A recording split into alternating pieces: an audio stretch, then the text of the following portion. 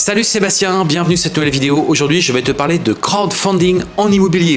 Peut-être que pour toi, c'est un terme un petit peu barbare euh, qui signifie peut-être pas grand-chose. Et pourtant, et pourtant, c'est un excellent moyen aujourd'hui de diversifier ses actifs et investir dans l'immobilier de manière relativement courte et aussi de façon relativement sécurisée avec une mise qui est relativement faible.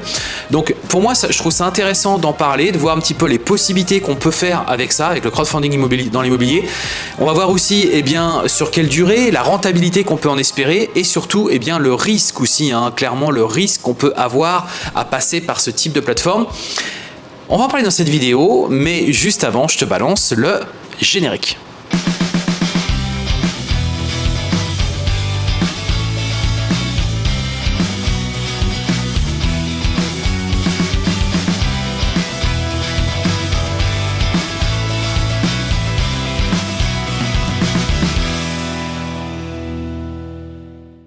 Alors avant de commencer cette vidéo, eh je vais t'inviter à t'abonner à cette chaîne YouTube.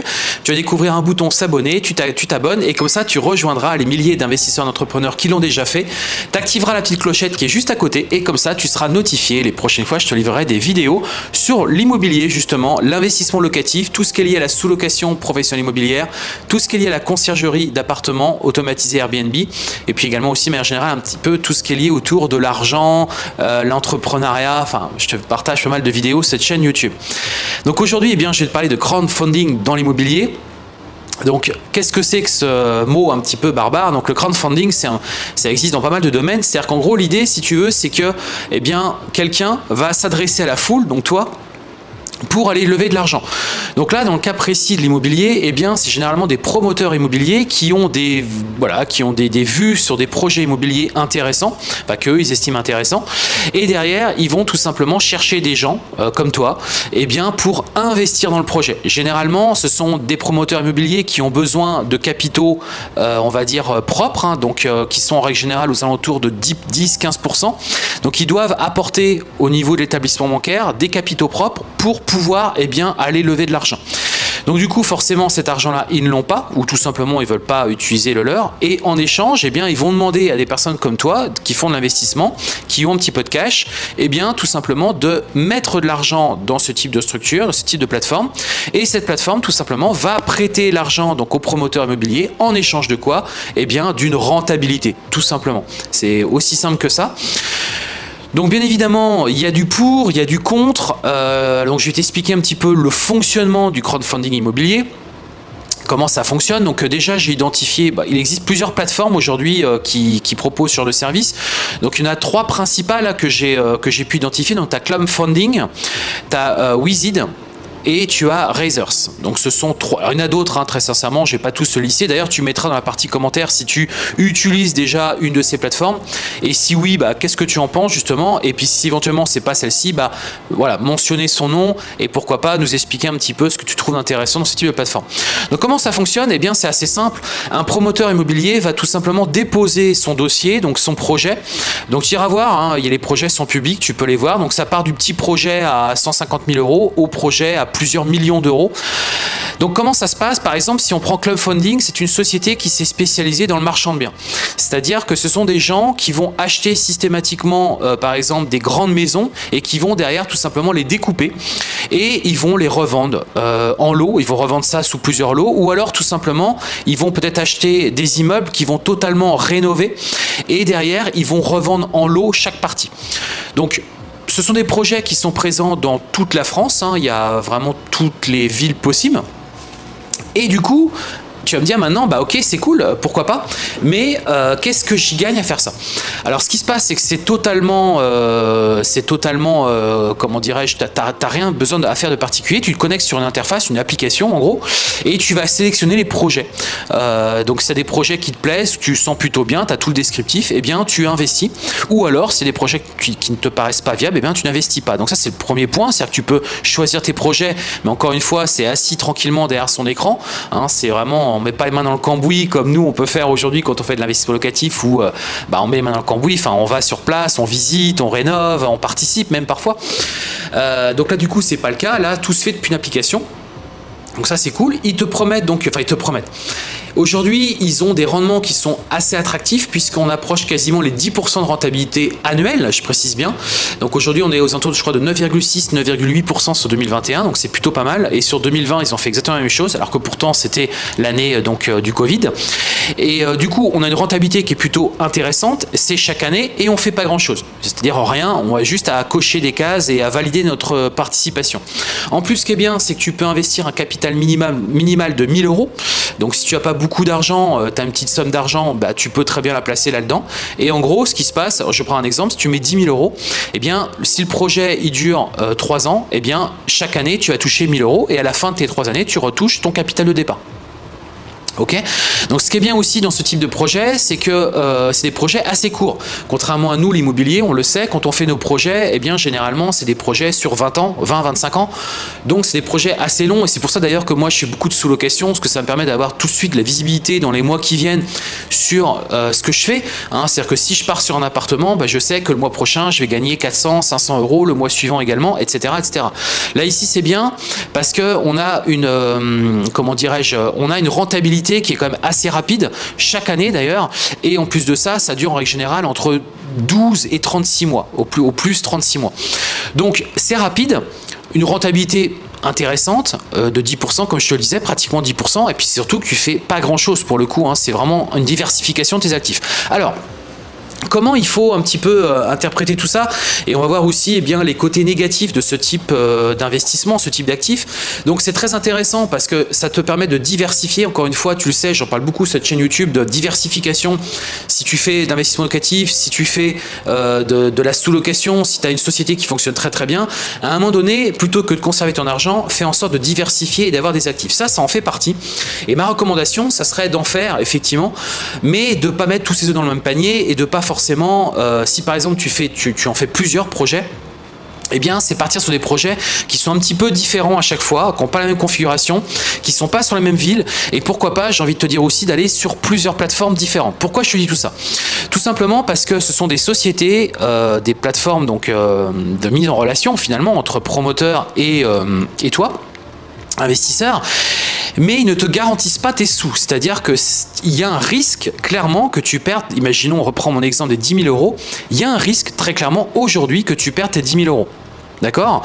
Ça, c'est la première chose. Deuxième chose, au niveau des risques, euh, si le projet prend du retard, et en ce moment, j'ai envie de te dire, les projets vont risquer de prendre du retard, tout simplement parce que euh, la rénovation, aujourd'hui, on a une pénurie de matières premières. Tu le sais, avec euh, la crise du Covid, ça a eu un impact sur tout ce qui est matières premières. Et donc, il y a un risque que les projets durent plus longtemps que ce qui était initié, ce qui t'avait été indiqué, et donc ça va durer plus longtemps. Donc tu vas me dire quelque part c'est pas très grave parce que je vais toucher quand même mes intérêts sur les années qui vont rester, oui, mais j'ai envie de te dire tant que tu n'as pas récupéré ta mise de départ, pour moi, tu n'as réellement encore pas gagné d'argent. Parce que même si tu as touché, euh, le fait est que ta mise de départ ne t'a pas été encore remboursée. Moi, voilà, je préfère être certain que derrière je récupère bien ma mise. Et plus le projet va durer longtemps, plus il y a un risque et plus euh, peut-être même que le projet ne se finalise pas. Enfin, tu vois ce que je veux dire? Il y a quand même des risques derrière par rapport à ça. Donc, on a donc la possibilité de perdre son capital, on a le risque de l'inflation aussi, parce que tout ce qui est fait là, c'est un instant T, donc avec l'argent que tu prêtes à un instant T, mais on ne prend pas en considération l'inflation, notamment euh, financière, la, valeur de l'argent tout simplement. Ça, c'est pas pris en considération, donc ça peut avoir un impact, même si c'est pas non, mais ça peut venir impacter un petit peu la rentabilité de ton projet. Donc par exemple, là, les 9,8%, peut-être que ça peut être un petit peu moins ou un petit peu plus, ça dépend aussi. Et c'est aussi que c'est pas liquide. Hein, on a une illiquidité, contrairement au marché boursier. Quand on fait la diversification et qu'on va sur les marchés boursiers, le gros avantage qu'on a en bourse, c'est qu'on peut à un moment donné revendre et on récupère sa mise. Là ici, c'est pas le cas. Il faudra attendre la fin du projet pour pouvoir récupérer son argent.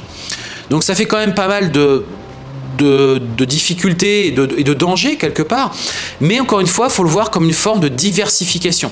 Je donne un exemple, tu as 100 000 euros à investir, tu peux très bien prendre 5-8% de cette somme-là et le placer sur ce type de projet. Et si tu veux, l'idée c'est que la somme d'argent que tu as disponible, si tu la mets sur plein de petits projets, plein de petites diversifications d'actifs, eh bien c'est ce qui va te permettre à un moment donné de gagner de l'argent de manière indirecte sur plein d'actifs différents. Et même si un jour tu avais un actif qui marchait moins bien, ou qui euh, était défaillant, eh bien, vu que tu auras diversifié, tu ne seras pas réellement impacté par rapport à ça, tu auras suffisamment gagné d'argent avec tes autres actifs. Donc ça, c'est une règle importante qu'il faut bien retenir. Euh, aujourd'hui, si tu as de l'argent disponible, c'est diversifier un maximum tes actifs. Et l'entrepreneuriat, c'est très bien, mais il faut faire attention puisqu'il y a un facteur risque qui est juste... Euh, en fait, il faut bien toujours mesurer le facteur risque. Et ce type de projet, par exemple de crowdfunding immobilier, ce sont des sociétés qui euh, peuvent aller te promettre beaucoup plus parfois, mais si te promettent beaucoup plus, c'est parce que derrière, il y a un risque qui est beaucoup plus important. C'est toujours pareil en fait. Hein. Euh, tu auras toujours plus à aller gagner sur des projets risqués que sur des projets moins risqués. C'est normal puisqu'il y aura moins de demandes, il y aura moins de personnes qui vont se présenter tout simplement parce que le risque est là. C'est à peu près pareil partout et là on le retrouve exactement aussi dans euh, le crowdfunding en immobilier. Alors maintenant, si on, va et si on veut terminer cette vidéo, on va parler un tout petit peu de fiscalité. Donc la fiscalité c'est relativement simple. Euh, tu paieras de la flat tax comme si c'était euh, donc de l'investissement boursier. Donc flat tax à 30% avec 17 euh, avec 17,2% donc de CSG et 12,8 d'impôt sur le revenu. Donc c'est forfaitaire.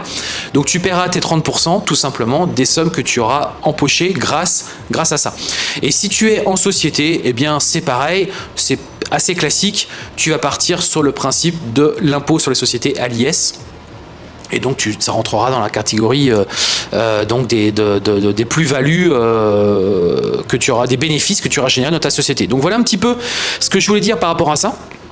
Donc n'hésite pas à commenter cette vidéo, à rajouter des choses complémentaires, j'aurais peut-être oublié, ou peut-être me lister les différentes plateformes que toi tu utilises aujourd'hui. Si tu le fais déjà, d'ailleurs, je serais intéressé que tu, tu partages avec nous cette chaîne YouTube et eh bien, ton ressenti, ou est-ce que tu as prévu de le faire, ou au contraire tu trouves que c'est complètement risqué et que euh, c'est pas du tout une bonne idée?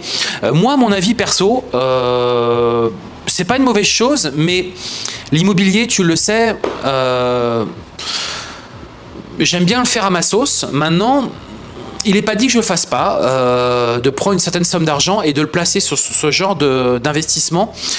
Mais moi, c'est vrai que je suis quelqu'un qui cherche des retours sur investissement plus forts que 10%. Donc, à mon sens, c'est encore un petit peu parce que forcément, moi, je suis dans une phase d'ascension, euh, de développement. Euh, c'est pas comme quelqu'un, par exemple, qui aurait peut-être 1 million, 2 millions, 3 millions sur un compte bloqué, enfin sur des comptes de disponibles et qui aurait déjà plusieurs actifs. Effectivement, il se rajoute cet actif-là supplémentaire. Je trouve pas ça déconnant. Maintenant, je pense qu'il y a moyen euh, aujourd'hui de diversifier avec des actifs qui sont un petit peu plus hum, lucratifs, on va dire. Mais ça reste pas très risqué, c'est ça que je veux dire, parce que ça reste sur de l'immobilier. Donc, euh, et d'ailleurs, ces sociétés que je t'ai mentionnées euh, font un, récap depuis les cinq dernières années et elles n'ont pas eu d'incident. Il n'y a pas eu d'incident à déplorer. Il y a eu un petit peu de retard peut-être sur les projets, mais il n'y a pas eu d'incident. Donc on voit bien que euh, bah, ça reste très peu risqué et que derrière on peut gagner de l'argent bah, tous les ans à hauteur d'à peu près 10%. On a terminé. Euh, c'est le moment de lâcher le gros pouce bleu justement. Si tu as aimé cette vidéo et ce format, n'hésite pas à liker cette vidéo. Et puis je vais t'offrir une formation d'une heure totalement gratuite sur comment te lancer dans la sous-location professionnelle immobilière, un business qui m'a permis moi aussi eh bien, de me lancer dans l'immobilier à un moment donné de ma vie où c'était très compliqué justement pour continuer mes investissements locatifs et pour continuer mon immobilier. Donc si toi aussi tu souhaites lancer ce type d'activité, sans crédit bancaire, sans un gros import, pense à la sous-location professionnelle immobilière. Et pour ça, je t'ai préparé une formation d'une heure totalement gratuite à récupérer dans la partie description. Tu verras ça tout en bas. On a terminé. Vouloir changer de vie, c'est bien, mais le faire, c'est encore mieux. Je te souhaite une excellente journée et je te dis à très bientôt.